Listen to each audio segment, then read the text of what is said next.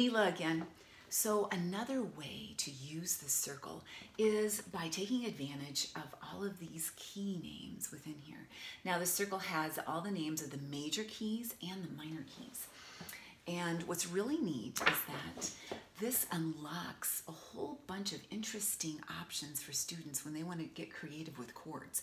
So what I'll do is I'll have them pick a key or I'll call, I'll say, pick a piece of the pie because see all the little pie pieces in this circle? So if they pick the key of C, they'll notice that the primary chords are right there on either side of the piece of pie and the secondary minor chords are also included in those three pieces of pie.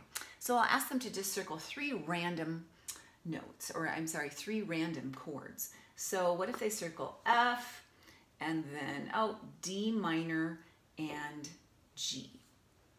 Then what I'll ask them to do is just to play those chords on the piano. So F, major, D minor, and G major. Now those are all within that key of C. So I want them to explore just a little bit and maybe play some patterns. Here's F, D, now to G. Hmm, that sounded pretty good. I wonder if I switched it around a little bit. What if I started with a D minor? Go to. Ooh, I like that. D minor now